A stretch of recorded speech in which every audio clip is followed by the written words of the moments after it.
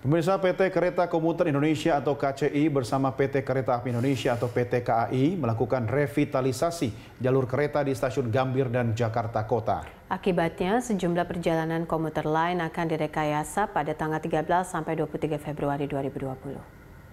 Ya, PT Kereta Komuter Indonesia atau PT KCI bersama dengan PT Kereta Api Indonesia atau PT KAI Daerah Operasi 1 akan mengeksekusi pergantian wesel di stasiun Gambir dan juga stasiun Jakarta Kota. Dan dari akibat adanya pergantian wesel ini maka untuk perjalanan KRL atau komuter lain ini akan direkayasa mulai dari Kamis 13 Februari sampai dengan nantinya pada 23 Februari 2020 mendatang.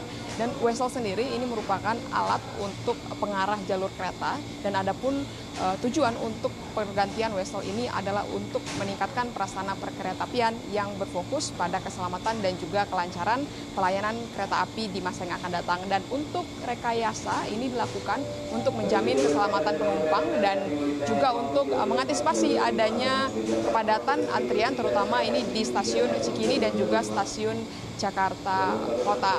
Selanjutnya untuk uh, arah ataupun perjalanan yang direkayasa ini adalah dari stasiun Cikarang, Bekasi juga uh, Depok, Bogor untuk tujuan ke Jakarta Kota hanya berhenti sampai di stasiun Manggarai.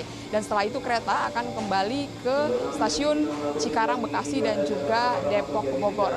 Sebenarnya ini total ada sebanyak 281 perjalanan untuk stasiun uh, Cikarang, Bekasi dan juga Depok, Bogor untuk tujuan Jakarta Kota. Namun dalam hal ini yang dilakukan untuk operasi maksud kami rekayasa operasi jalur ini hanyalah sebanyak 40 lima kereta atau uh, tujuan saja.